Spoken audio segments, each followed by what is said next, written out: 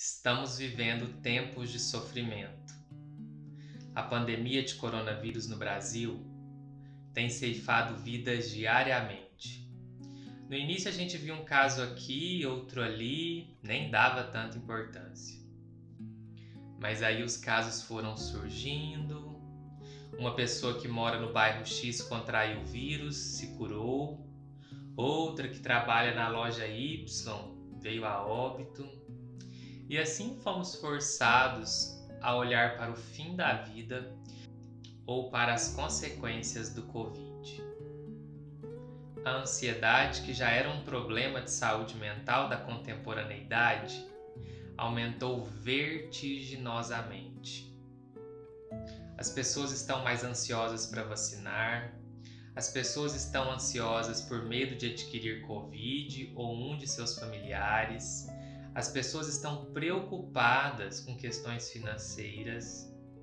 Tem gente angustiada, deprimida, irritada, se sentindo sozinha, sem falar nas que estão se questionando.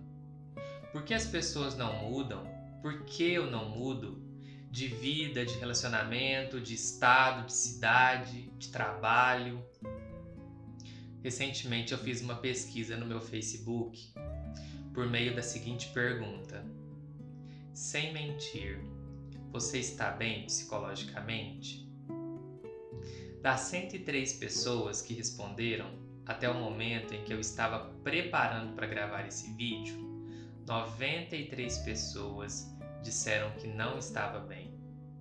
Esse dado mostra que você não está sozinho. O meu desejo com esse vídeo é que brote um pouco mais de esperança, ou que pelo menos você possa refletir em relação à vida a partir de agora. O Nietzsche acreditava que o homem tolera qualquer como se tiver um porquê. Esse porquê pode ser traduzido em sentido de vida. O que você precisa descobrir para sua vida se tornar plena de sentido? Os meus pacientes sabem como é importante o autocuidado. Eu geralmente elenco vários tipos de autocuidado que promovem saúde mental, mas hoje vou enfatizar a psicoterapia. Quando você vai a um bom psicólogo, você tem a liberdade de esvaziar-se, colocar para fora todo aquele nó que está entalado na garganta você tem a possibilidade de refletir sobre a própria vida, suas emoções e sentimentos, e ainda ressignificar, ou seja, dar um outro sentido ao pensamento negativo que você carrega todos os dias. Muita gente usa álcool além da conta, fuma uma carteira de cigarro por dia ou até mais sofre por antecedência, reclama, guarda mágoas, ressentimentos. O cuidado consigo é quase zero.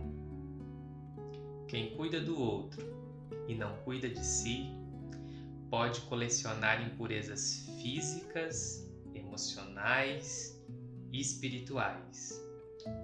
E isso pode ser uma irresponsabilidade com você. Gostou do vídeo?